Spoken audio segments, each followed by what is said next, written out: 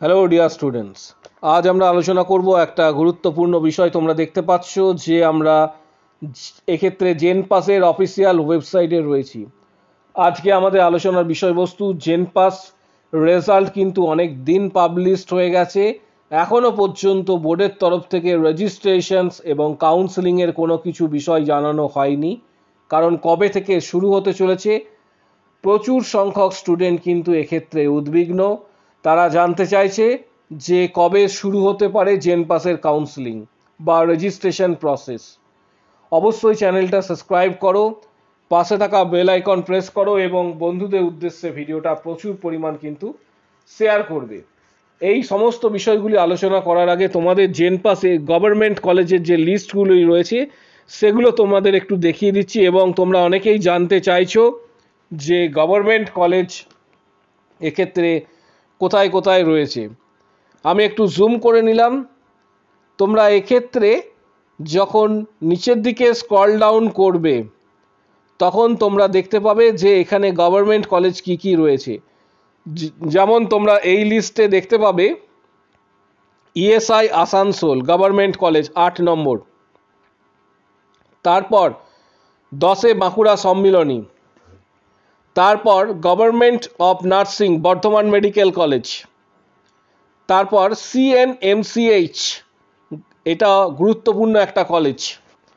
Next, government of nursing, এক্ষেত্রে তোমরা দেখতে পাচ্ছ medical college, Kolkata and hospital.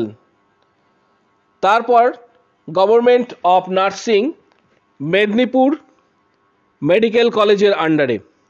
তারপর ঠিক নিচের দিকে যখন আসবে government of nursing, north Bengal.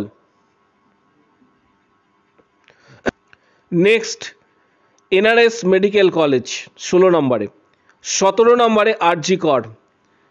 ঠিক তার নিচের দিকে স্কল ডাউন করবে, লিস্টটা যখন তোমরা দেখতে পাবে, তারপরে এখানে তোমরা দেখতে পাচ্ছ government of nursing Serampore.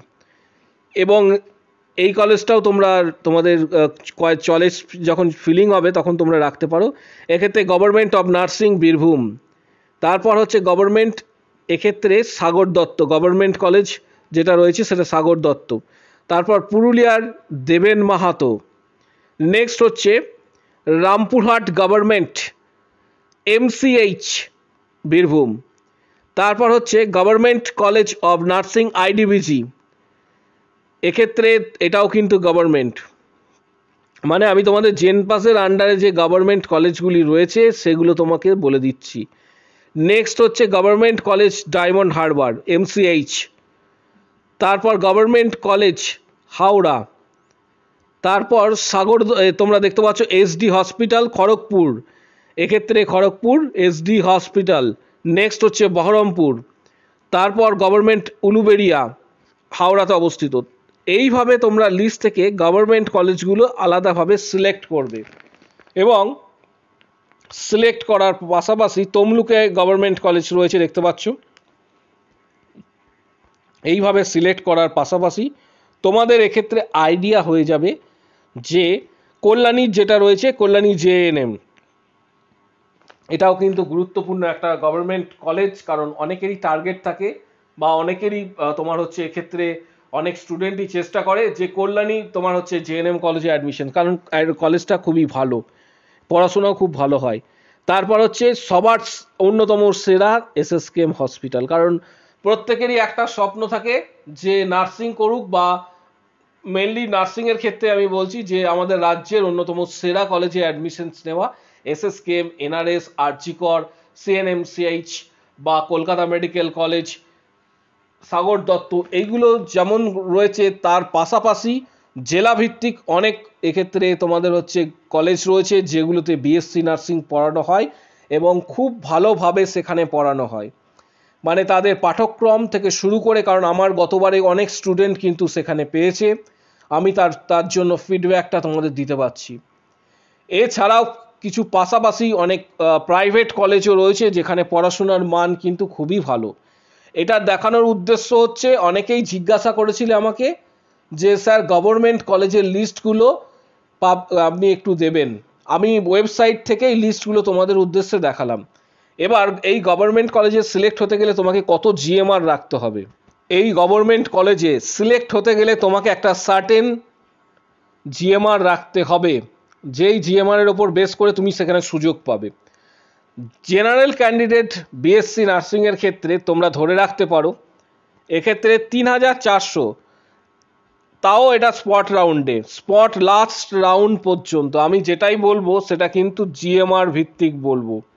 Others কোনো কাস্ট ক্যাটাগরির র্যাঙ্ক আমি বলব না। জেনারেল ক্যান্ডিডেট তিন হাজার চারশো জিএমআর পর্যন্ত। যদি থাকে, একটা আশা রাখতে পারো স্পট রাউন্ড পর্যন্ত এক্ষেত্রে তুমি সরকারি কলেজ পেতে পারো। ওবিসি এ সাত হাজার আটশো জিএমআর ওবিসি বি চার হাজার তিনশো জিএমআর এই যে ডেটাগুলো তোমাদের দিচ্ছি, এই ডেটাগুলো লাস্ট তিন চার বছরের ডেটা অবজার্ভ করে আমাদের এক্সপিরিয়েন্সের ওপর ডিপেন্ড করে তোমাদের প্রোভাইড করছি। এবার এই ডেটাগুলো চেঞ্জ হতে পারে কখন? দেখো, কোনো চ্যানেল বা কোনো সংস্থা এক্ষেত্রে তোমাকে হান্ড্রেড পার্সেন্ট বলে দিতে পারবে না যে কাট অফ কতটা হতে পারে।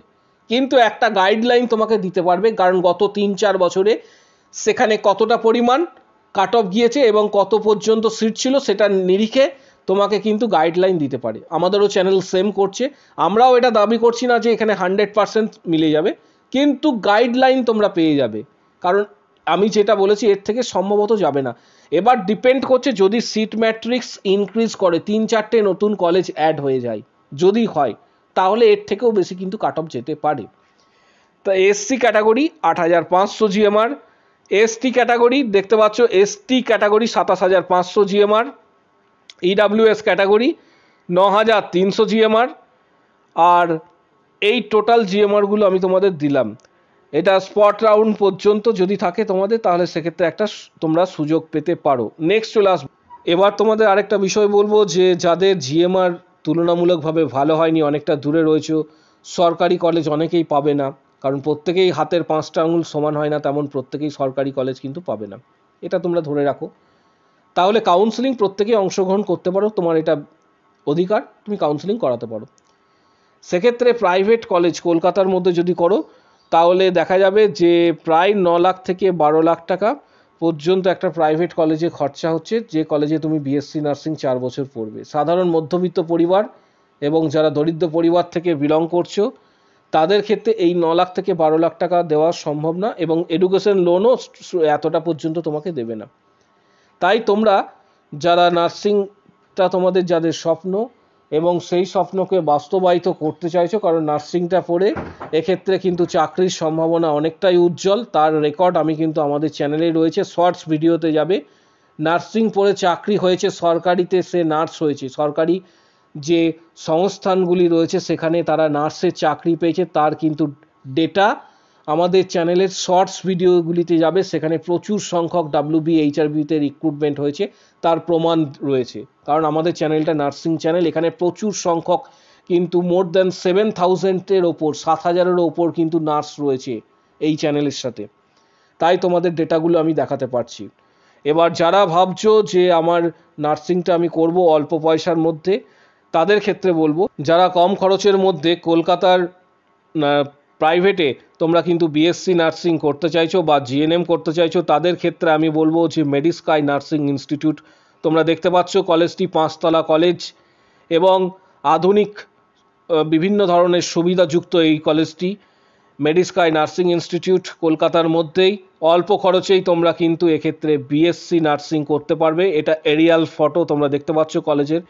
কলেজের নিজস্ব কিন্তু হসপিটাল রয়েছে। একশো দশ বেডেড নিজস্ব ওন হসপিটাল এক্ষেত্রে রয়েছে ক্লিনিক্যালের জন্য। এবং তোমরা কলেজ থেকে পাস আউট হবার পরে তোমাদের কিন্তু প্লেসমেন্ট সেটা কলেজের নিজস্ব হসপিটালে দেওয়া হবে হান্ড্রেড পারসেন্ট প্লেসমেন্ট রয়েছে। এছাড়া আরও অনেক ইনফ্রাস্ট্রাকচার রয়েছে। আধুনিক শীততাপ নিয়ন্ত্রিত ক্লাসরুম তোমরা দেখতে পাচ্ছ ক্লাসে বাতানুকূল তোমার সুবিধাযুক্ত রয়েছে, অর্থাৎ এসি রয়েছে, এবং আধুনিক সুবিধাযুক্ত ক্লাসরুম নেক্সট তোমাদের দেখাবো আমাদের পরিকাঠামো এই কলেজেরই। সেক্ষেত্রে তোমরা দেখতে পাচ্ছ ল্যাবরেটরি এক্ষেত্রে ল্যাবরেটরি ফটো তোমরা দেখতে পাচ্ছ, আমি তোমাদের দেখানোর চেষ্টা করছি। নার্সিংয়ের এটা একটা গুরুত্বপূর্ণ পার্ট কলেজের নিজস্ব হসপিটালে ইনস্ট্রুমেন্ট যেটা রয়েছে, এর পাশাপাশি কলেজের নিজস্ব হসপিটালের ফটোও তোমরা দেখতে পাচ্ছ, আমরা তোমাদের দেখানোর চেষ্টা করছি এক্ষেত্রে। এবং এটা হচ্ছে হস্টেল রুম আধুনিক সুবিধাযুক্ত।